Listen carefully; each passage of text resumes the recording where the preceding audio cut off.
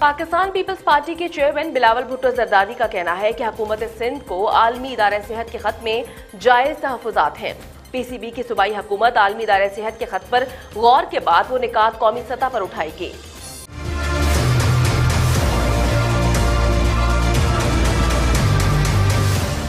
Chairman Pakistan Peoples Party Bilawal Bhutto Zardari ने समाजी रबते की वेबसाइट ट्विटर पर ट्वीट करते हुए लिखा कि सिंध ने हमेशा हकाइक और इस्तादात के मुताबिक कौमी पॉलिसी बनाने पर ज़ोर दिया है। ट्वीट में उनका मजीद कहना था कि बदकिस्मती से कोरोना वायरस के मामले में कौमी सतह की हमत अमली इख्तियार नहीं की गई। इस हवाले से सिंध हुकूमत कौमी सतह के इजलास से कबल मुशावरत करके अपने तहफात के इजहार के साथ साथ तजावीज भी देगी।